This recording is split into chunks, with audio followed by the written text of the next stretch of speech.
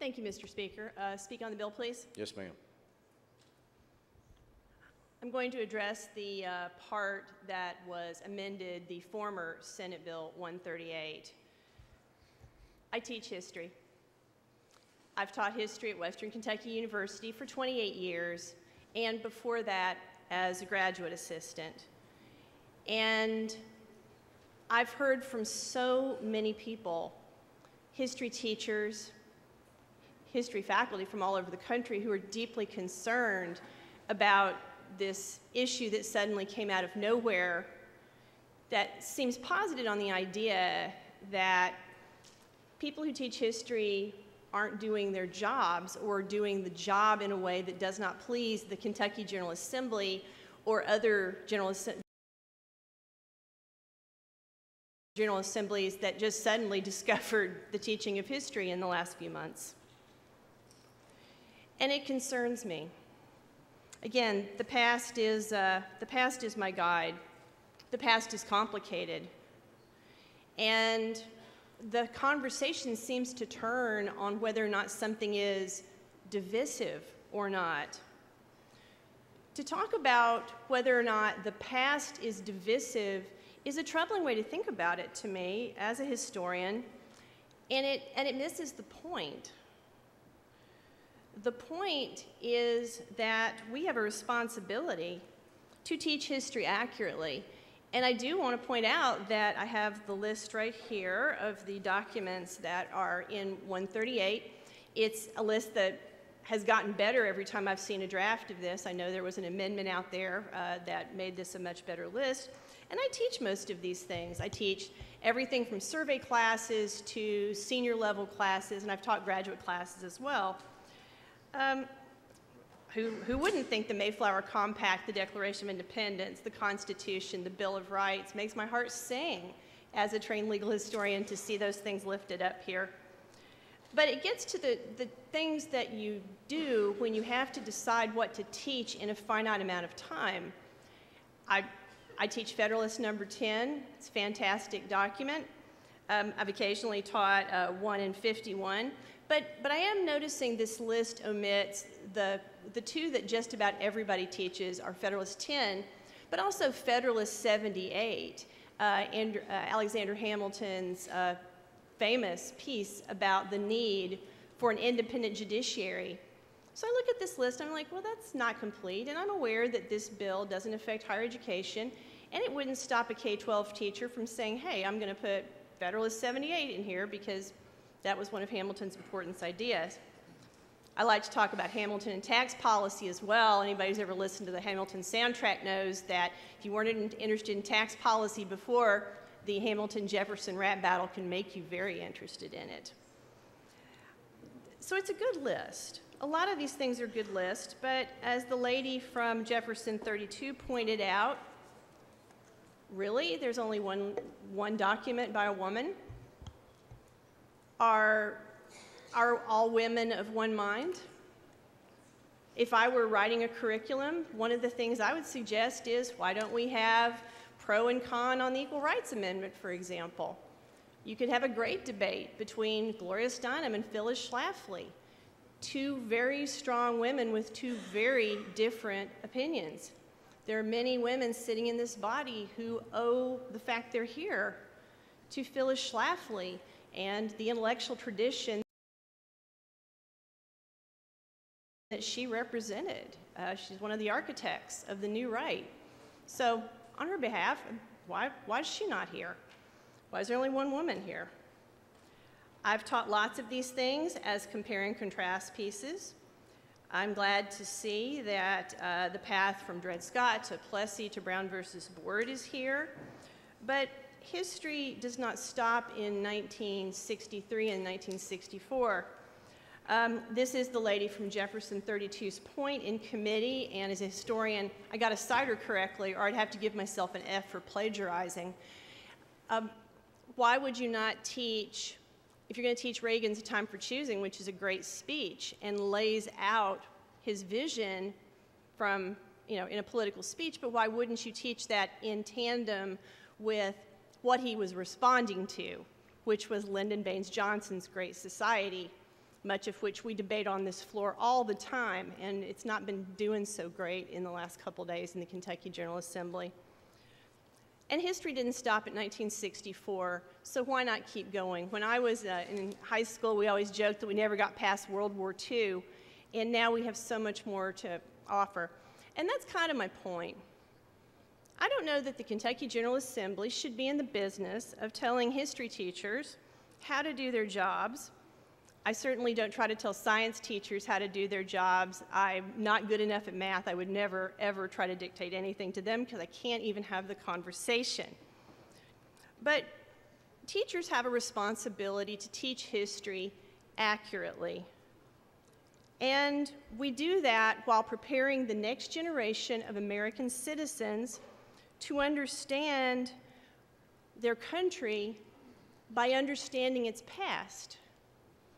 Anybody who ever took me for a class would tell you that the first thing I put on the board at the beginning of the semester is that history is understanding how things change over time. History is the study of understanding how things change over time. It's not static, it's incredibly dynamic. And to me, patriotism is not shoving things that are complicated and painful under the rug. It's acknowledging this past, understanding that your past may look different than someone else's past. It's about creating a conversation where these opposing viewpoints can be discussed and understood, but understood accurately. And this do, list does include many of my heroes. I've, I've taught just about every speech Martin Luther King Jr. ever gave, and, and I love watching my students light up when they realize that so many of the heroes that led the civil rights movement were the age that they were now, people who were college students that you can literally run a major social movement at the age of 20. That's such an exciting thing to see as a teacher. I would never want to see any of that regulated, and I would never want to see anybody in a classroom self censor because they were afraid that they were breaking a law that was set up by a bunch of people who are not teachers or trained historians. Teaching the past accurately does give students in K through 12 so much to be proud of. And the responsibility for that should be with our teachers, not with people who are sitting in the Kentucky General Assembly. So let's do our jobs. Sometimes we agree, and disagree on how well we're doing them. But let's not be in the business of dictating content to teachers. Let's let teachers do the teaching guided by the Kentucky Department of Education. Let's let them work on their content areas and let's try really hard to give them more funding and more resources and lift them up, not giving them one more thing to worry about. Thank you. Chair recognizes the lady from Jefferson 31. Thank you. Will the sponsor yield to a question? He will yield. Sponsor, it says on page four that the um, superintendent will gain control over principal hiring, appropriation, and curriculum after consultation with the site-based decision-making council. Are we talking real consultation here, or what would that look like? Gentleman from Boone. It should absolutely be real consultation. I, I would never diminish the, we're not doing away with site-based councils. There should be an ongoing conversation repeatedly. It just goes to the actual accountability phase. But schools change and move year in, year out. Teachers move year in, year out, and sometimes administrators do. So I think that needs to be an ongoing, and in a perfect world, that superintendent would be out in his or her buildings or their designee would be out in their buildings on a regular basis having these consultations with the council and or the principal. Lady from Jefferson 31. Thank you. I worry that consultation could become a, just a check, a check mark. May I speak on the bill, please? Yes, you may proceed. I want to speak about section four, what, the text that is also Senate Bill 138. Of these 24 documents, by my count, 23 are the voices of men and 21 are the voices of white people. There are no queer voices, no native voices, no immigrants since the 1700s, and no black women. The sponsor says teachers can still teach other stuff, to which teachers say, Yeah, we already are. It's their job to teach the full scope of history, helping students appreciate the greatness and the failings of the United States. It's an insult to say that all of a sudden they need the help of the legislature in choosing primary sources. By enshrining these 24 documents in our social studies standards at a cost of about $300,000, we give them and the limited viewpoints they represent outsized recognition. The history of racism is included here in this bill because that ism is so egregious and so foundational to our country uh, that it could not reasonably be excluded or erased. Also, some people think incorrectly that we've solved racism and ended racial prejudice and bias. So it's easy to say, look at the mistakes of the past. How horrible! Anyone with their eyes and ears open knows that systemic racism persists. Since this bill was supposedly cooked up in one legislator's mind, I propose some additions of my own. All of them are centered on life, liberty, and the pursuit of happiness. First, on the topic of misogyny, feminism, and women's ongoing movement for equality. How about an excerpt from Shirley Chisholm's For the Equal Rights Amendment speech, lady from Warren, delivered August 10th, 1970? She said, Discrimination against women solely on the basis of their sex is so widespread that it seems to many persons normal, natural, and right. Legal expression of prejudice on the grounds of religious or political belief has become a minor problem in our society. Prejudice on the basis of race is at least under systematic attack. There is reason for optimism that it will start to die with the present older generation. It is time we act to assure full equality of opportunity to those citizens who, although in a majority, suffer the restrictions that are commonly imposed on minorities women. The time is clearly now to put this House on record for the fullest expression of that equality of opportunity which our founding fathers professed. They professed it, but they did not assure it to their daughters as they tried to do for their sons. The Constitution they wrote was designed to protect the rights of white, male citizens. As there were no black founding fathers, there were no founding mothers, a great pity on both counts. It is not too late to complete the work they left undone. Today, here, we should start to do so. Next, Let's include something about the persistent quest for fairness from our LGBTQ citizens. As we saw with anti trans legislation in this body last week, the struggle continues. This is from the Obergefell versus Hodges opinion from the Supreme Court, issued on June 26, 2015, permitting same sex marriage. It was written by Anthony Kennedy.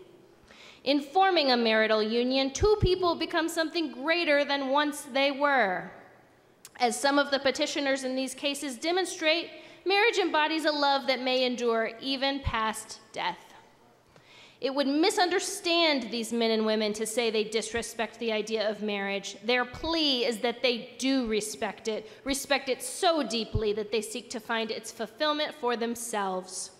Their hope is not to be condemned to live in loneliness, excluded from one of civilization's oldest institutions. They ask for equal dignity in the eyes of the law. The Constitution grants them that right. Lastly, how about including the voice of an American whose ethnicity made them a target of their own government, a topic that will hold resonance for many of our Latino and immigrant students? This is by Yuri Kochiyama, a California born Japanese American who spent two years in an internment camp and had this remembrance in 1991. I was red, white, and blue when I was growing up. I taught Sunday school and was very, very American. But I was also very provincial. We were just kids rooting for our high school. I was 19 at the time of the evacuation. I had just finished junior college. I was looking for a job and didn't realize how different the school world was from the work world. In the school world, I never felt racism. But when you got into the work world, it was very difficult. This was 1941, just before the war. I finally did get a job at a department store. But for us back then, it was a big thing because I don't think they had ever hired an Asian in a department store before. Everything changed for me on the day Pearl Harbor was bombed. On that very day, December 7th, the FBI came and they took my father. He had just come home from the hospital the day before. For several days, we didn't know where they had taken him. Then we found out that he was taken to the federal prison at Terminal Island. Overnight, things changed for us. Each of these topics could get 24 documents of its own to better represent our America. Better yet, the legislature could leave curriculum to the professionals. Chair recognizes the lady from Jefferson 41.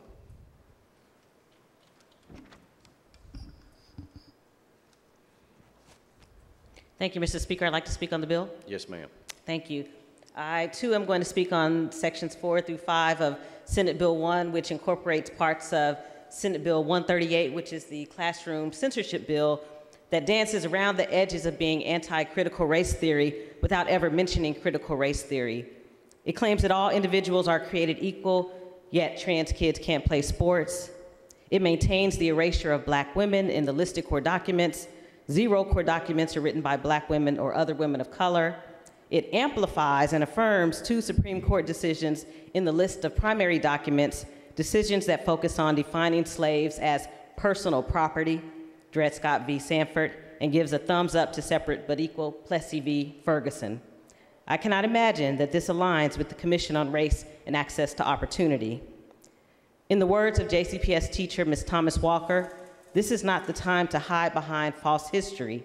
We must take the time to educate everyone from all walks of life about the history of the United States.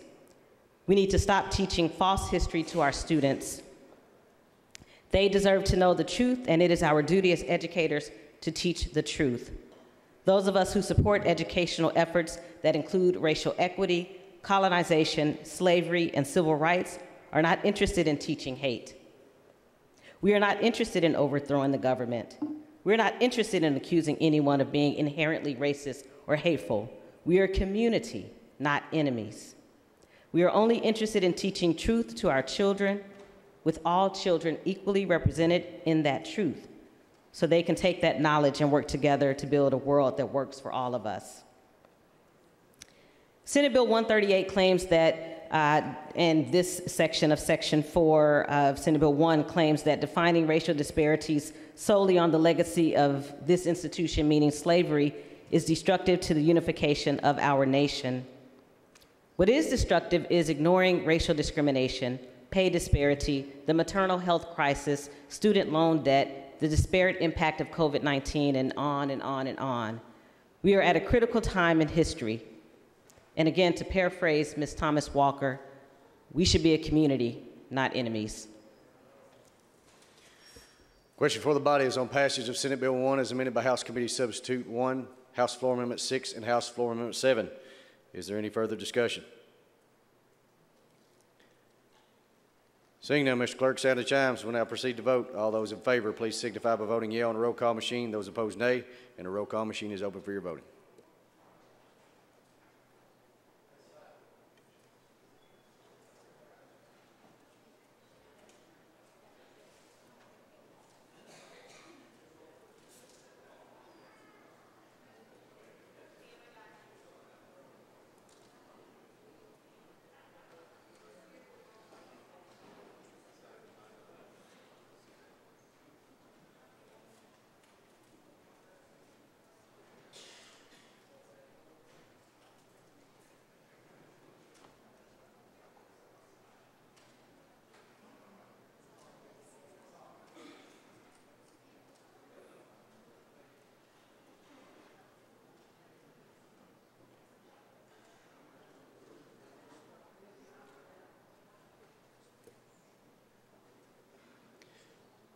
Have all members voted?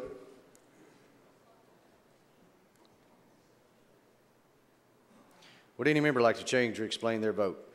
Chair recognizes the lady from Jefferson 41 for explanation of vote not to exceed two minutes.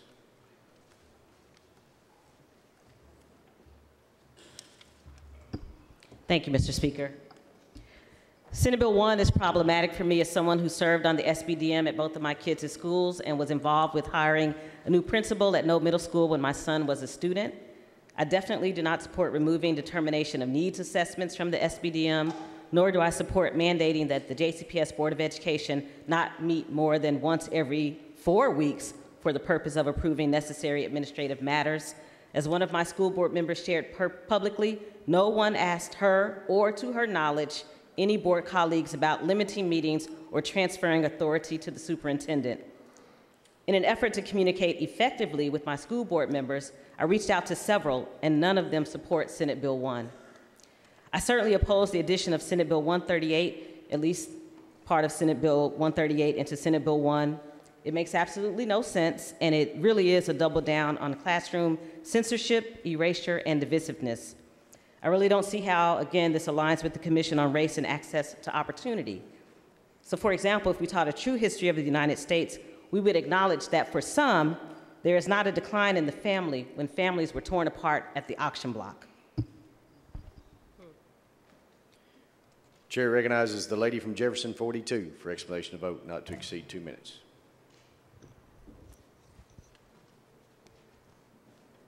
Thank you, Speaker. May I uh, speak on the bill? Uh, You may explain your vote, ma'am. I'll explain my vote. Thank you. Um, I want to speak on uh, the piece of the bill in uh, 138 and why I voted no. When I was in school in Madison County, elementary, middle, and high school, I did not like going to school. I actually hated going to school. And it wasn't until I got to college that I really enjoyed going to school. And at that time, I realized it was because I was studying and learning about the things that I cared about. And so, as I would go back and, and really think about and dig deeper about why that was, when I was in school in Madison County, I didn't learn about people who looked like me, people who were black. Very little. If I did, it was only during Black History Month. And so I stand here explaining my no vote today, saying that if we are going to put any type of regulations or saying what we should and should not be teaching, the thing that we should be saying we should be teaching is making sure that we do teach correct history and more specifically black history to make sure that our students, black students and students of color have a sense of belonging and um, that their voices are, are being heard. I want to let this body know that we should not and we do not get to uh, cherry pick through history. We must learn it all and hopefully grow from all of it. History is a tool to teach us of where we got, got it right and where we sadly got it wrong. We don't get to whitewash parts that we don't like. We don't get to skip over the parts that make us feel uncomfortable. Some change only comes when people are uncomfortable. And young people have the right to learn all of Kentucky history and American history so that they can be equipped to do something different to make our state better. We cannot continue to hide our American history and our Kentucky history under bourbon and bluegrass. Thank you. Gentleman from Franklin, I saw that you hit your button just as we started the vote, and I know you wanted to speak on the bill, so I'll let you explain your vote and give you a little bit of extra time if you need it there. Thank you. I appreciate it, Mr. Speaker. You know, when I taught history, I would begin the day with saying to my students, if you don't know where you've been, you won't know where you're going. And what I meant by that is that you have to learn what has happened in the past so that you can develop ways that it not happen in the future and that you had to build upon what has happened in the past to do that. And so I look at this bill, this portion of the bill, as it's not just about critical race theory, which they're uh, scared or saying that is taught in the elementary and the high school level, but it's really about our students learning, as I said in my previous speech, about them learning and researching and inquiring and developing critical thinking skills so they can develop for themselves and see how things have happened and why they happened, but what was done to try to make things better. We as a nation, we come from all over the world, the only nation that welcomes everybody into this country. And therefore, we need to learn about each other. Because if we learn about each other, we can build a stronger, a nation of people who believe in the concept that is in the preamble. That we can believe in what we're taught in church every, every Sunday and what we should practice every day of the week. That we are all of God's people and that we should love one another. Even when someone makes you mad, you should still love that individual. That's what this country is built on. The foundation of this country is built on, accepting those who are different, but also collaborating with those who are so much have in common, what we all have in common. And even to respect, even if we have differences, to respect one another. This is not about, this is really about the base. It's about politics. And sometimes we have to not do those things. This country has survived because people have stepped forward and have been strong and have been committed towards a united states of America, a united group of people from all over the world who now live in our country and who love our country just as hard as each and every one of us do. This is probably one of the, the toughest bills and one of those bills that I think really is bad for this, not only General Assembly, but for the history of this General Assembly. To pass something in this magnitude, that we're really, it's about politics.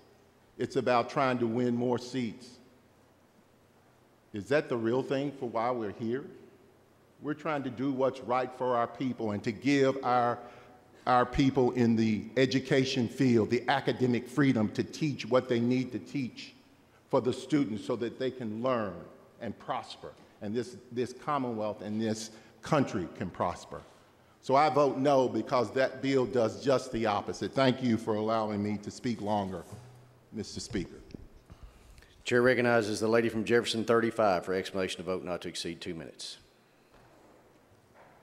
Thank you, Mr. Speaker. Um, I'm voting no today for the Jefferson County School Board members uh, whose responsibilities we've chipped away at, the responsibilities they were elected to carry out. I'm voting no today for the voters of District 35 and the voters across Jefferson County whose votes for their school board members mean a little bit less now than the votes of every other from every other county in this district. I'm voting no for the parents whose voices will be diminished because of the changes and the chipping away we've done to our site based decision making councils. I'm voting no for the teachers and for the teacher shortage and, and so many young teachers looking to leave the profession because they see themselves and their, their professionalism questioned We've chipped away, we've eroded our, our trust in them by saying to them, This is what you must teach. We've put a chill over their classrooms by striking fear, frankly, into what they can and cannot discuss in their classrooms. And today I'm especially voting no for the students, the many students from across Kentucky who have reached out on Senate Bill 138 who have begged us not to pass this legislation. Brilliant students from across the Commonwealth who've reached out, who've used their voices to let us know how important academic freedom is to them. So for the students of Kentucky, I vote no on this bill. Thank you. Chair recognizes the lady from Warren 20 for explanation of vote not to exceed two minutes. Thank you, Mr. Speaker. Briefly explain my no vote. Yes, Um. Besides my concerns about the teaching of history in an accurate way that lifts everyone up, I'm also really sad that we just took apart something that has worked really well in Warren County, which is the uh, site-based councils. I've heard from a lot of parents who did not want SB 1 unamended to pass because they love having that input. This changes that structure considerably, and if this turns out to be a bad change, I hope we will revisit this next year because we talk about parent involvement and needing parents to have a say. This is one very major way that they do it. Thank you. Chair recognizes the lady from Jefferson 34 for explanation of vote not to exceed two minutes. Thank you, Mr. Speaker. Excuse me. I voted no on this bill because it does take away some of our parent, parental decision-making after we just said we were giving parents a choice with the last bill. I want to know because children and teachers need to learn what's about in this country and in this world. I think we live in the best country in the world, but we have an ugly, ugly history. The world has an ugly history. The Nazis killed almost 9 million people. Women between 9 and 13 million as witches in the Middle Ages and in the U.S. Native Americans were marched off to live in deserts and their land stolen. The Japanese were interned. You could be raped if you were married. Marital rape was not a crime, you were property of your husband. These are ugly points of history, but they're important so that we don't let them happen again. But the fact that this country spent almost 200 years where white people could own black people is a terrible scar on our nation and on the world. And we need to learn what happened, learn to never let anything like that ever happen again. And I vote no. Chair recognizes the lady from Letcher 94 for explanation of vote not to exceed two minutes. Thank you, Mr. Speaker. I'm explaining a no vote. I committed early on in this session to vote against Senate Bill 1. That's a promise I'm keeping. This morning they rolled in Senate Bill 138, which feels a little bit like a trap to some of us in rural areas, but I'm glad to see I'm not the only one who took a tough vote to keep a promise. Chair recognizes the gentleman from Jefferson 46 for explanation of vote not to exceed two minutes. Thank you, Mr. Speaker. I, I voted no today, actually for some reasons that have already been mentioned. Um, basically, I don't think it's a good idea to erase certain parts of history just because they are negative and things that we may not be proud of. Um, those things need to be kept around and taught so that we assure that they're not repeated. And when we start making lists of things to teach and that we must teach, and you know, I, I, I breezed through this list, and there's a lot of great moments and great documents in there. But as soon as you start making lists, you start leaving some really important ones out. And um, a little bit appalled that the 1990 Americans with Disabilities Act is not listed. I think that is a, a huge thing um, for this country. So. Um, wish I could have made an amendment to try to get that in, but I didn't. So thank you, Mr. Speaker. Chair recognizes the gentleman from Jefferson 36 for explanation of vote not to exceed two minutes. Thank you, Mr. Speaker. Uh, for over 40 years, JCPS has operated with an inefficient governance structure. if JCPS were a private or a, or a public company, they would be the 12th largest in Kentucky. The 12th largest in Kentucky. Yet their board has to approve expenditures over $5,000. It's absurd in modern day. This bill, Section 3 specifically, fixes that because it was the Louisville business community who is dependent on the graduates of JCPS who said something needs to change with JCPS. We have brilliant kids and teachers, as the lady from uh, Jefferson 35 said. It's, it's a structural, it's a board problem, and this bill takes care of that. Thank you. I'm proud to vote yes. Chair recognizes the lady from Jefferson 43 for explanation of vote not to exceed two minutes. Uh, Thank you, Mr. Speaker. Uh, When I served in the United States Air Force, I lived in 11 different countries. And in every country, they wanted to talk about what is it like being black in America? Because all they had was what they saw on TV, what somebody had told them, and now here it was, a real person that was black that could tell them. And I could tell them. I could tell them because I lived it. I could tell them because I thought through it. I could tell them in a way that built a global community. So now we're preparing our students of Kentucky to operate in a global world without the ability to think through our history. We're not preparing them to be the global leaders, and that's where we're going. Global leadership, where people will listen to them because they've thought through their history, they know where they're going, and they're complete with it, and they can create something new. I voted no because every American ought to be able to embrace, understand, and know. We might have done that then, but we're not doing it now, and we're going to stand for our children to be global leaders. Clerk will take the roll. There being 67 members voting yea, 29 members voting nay. Senate Bill 1, as amended by House Committee Substitute 1, House Floor Amendment 6, and House Floor Amendment 7, is passed. Gentleman from Boone. Thank you, Mr. Speaker. I would ask the clerk to report House Committee Amendment 1, the title amendment. Mr. Clerk, please report. House Committee Amendment 1, the title amendment to Senate Bill 1. Gentleman from Boone. Move for adoption. Without objection, so ordered. Gentleman from Boone. Move for clencher. Without objection, so ordered.